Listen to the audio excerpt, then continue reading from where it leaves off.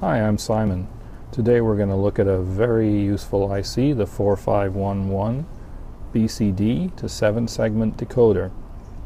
First we're going to take a look at the spec, then we're going to look at a test circuit, and then we're going to build it on a breadboard and try it out.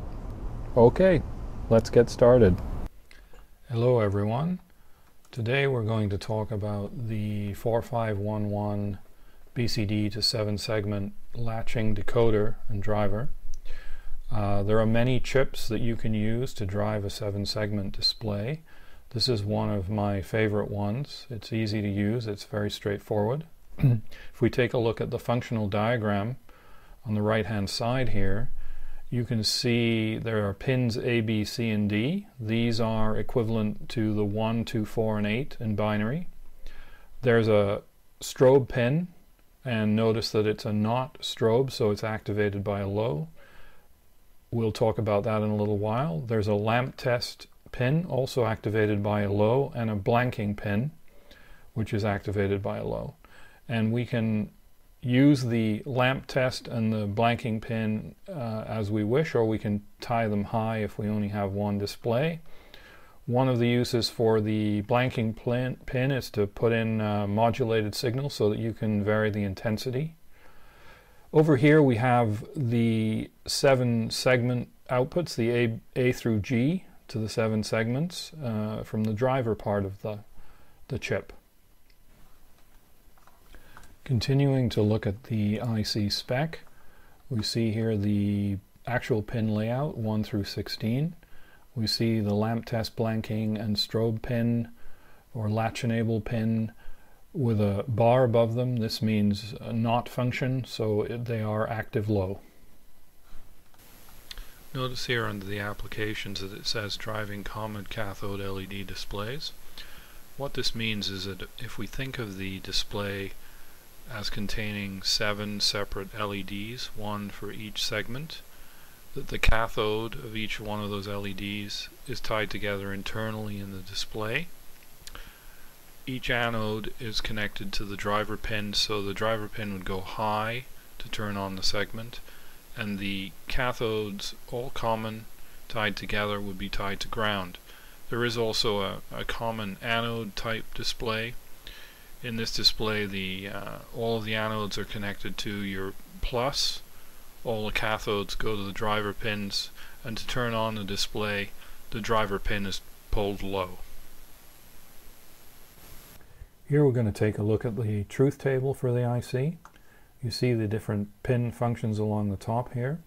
So you can see that uh, when we pull the lamp test pin low and uh, doesn't care, X, if you look down here, X means doesn't care, doesn't care what the latch enable or the blanking pin state is.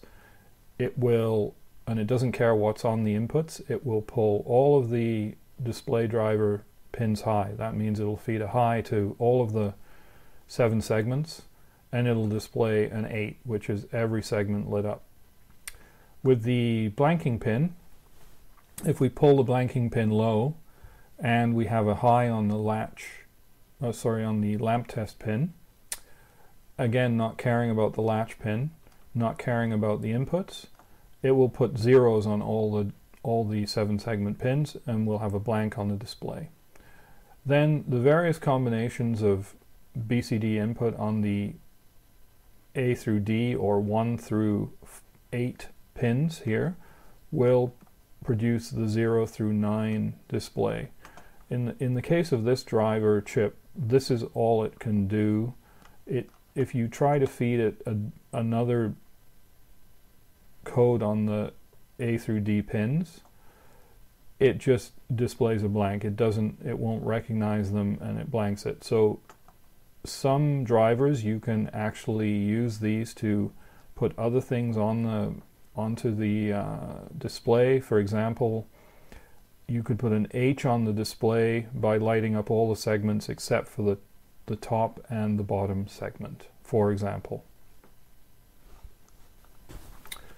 Okay, now let's talk about the latch enable pin. So you see here I've also put in the, uh, the, the, numbers 1 through 8, which each pin represents. Um, when the latch enable is is low, it will transfer whatever is on whatever data is on the, the A through D pins or the input pins onto the display. So while this is low, while this latch enable is low, if you change the numbers on these data pins, the, the display will change instantly. If you pull it high, and you see here we have only one instance shown of it high, the it doesn't care what's on the inputs anymore. It does star, and star means depends on BCD code previously applied when latch enable equals zero. So what that means is that whatever was last on those data pins right before this pin was pulled high, that's what stays on the display until you pull this low again. Okay folks, let's take a look at a circuit to test this IC out. Here you can see the 4511 IC, the 7 segment representation, some series resistors just to limit the current. About 220 ohms will give us a nice bright display. Over here you see that the lamp test and blanking pin are pulled high so this will essentially disable them. They're not pins that we're going to use very much for this demonstration but we can enable them by pulling them low with these switches here. You see for the latch enable strobe pin the opposite is true. We pull the pin low to enable it and we only disable it if we turn on this switch here connecting the pin to plus 5 which will essentially freeze the display.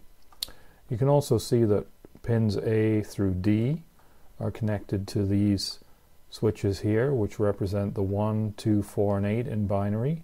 So if we switch this on it'll connect the pin to plus 5, it'll pull the, the pin high. And again you see that all the pins are are normally pulled low to ground by a resistor here.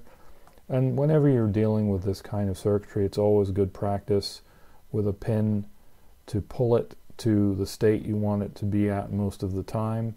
Don't leave pins floating. Okay, now we're going to build the circuit and demonstrate the actual function. While watching the breadboard build, think about this we could connect three or four of these chips to the same input pins, the ABCD pins, on a microprocessor, and then just control which display is active using the latch pin. Okay, our circuit is built. Let's test it out. You can see right now we're displaying a 3 on the, on the display. Um, and you can see that that makes sense because the binary 1 and 2 pins are tied to high. Uh, this is the binary 4 and this is the 8. I'm not following these numbers. So let's switch to another pin. We're going to do the 1, 2, and 4. So we should have a 7 on the display and sure enough we do have a 7 on the display. Let's try turning off a couple of pins here. So we should just, if we just have the number 1 pin on, we should just have a 1 on the display, and we do. And let's just for fun turn on the 8, so we should have a 9 on the display, and we do. So our display is working. Let's try uh, a couple of other things here. So let's turn on the lamp test pin, number 5, and it lights up all the segments as it's supposed to. So we'll turn that off. It's a little bit tricky with the dip switch. Now let's try the, um, oh, I turned off the wrong switch there. Let's just turn that one back on and turn the lamp test off. Now let's try the blanking switch. So if I turn this on and it blanks the display, so that's working. Now let's try the latch enable. So right now things are enabled as I change the data line, the data inputs, the display changes. When I pull this pin high, it should freeze the display on 9. So let's try changing some inputs. We'll change everything to 0. And sure enough, the display is frozen. And now you see when I when I remove that latch, I'm just about to do, the display should go to zero because all our data pins are at zero, and it does. And just uh, to check, we'll turn on the 2. We should get a 2 on the display. And we do. So there you go. There's the 4511 in action. Thanks for watching the video. Now let's go play with Nala. Come on, don't eat the grass. Come on. Ready? Okay, Nala, come on. Come on. Ready? Ready? Go get it, girl. Go get it. Good girl. Good girl. Bring it to dad. Bring it to dad. Good.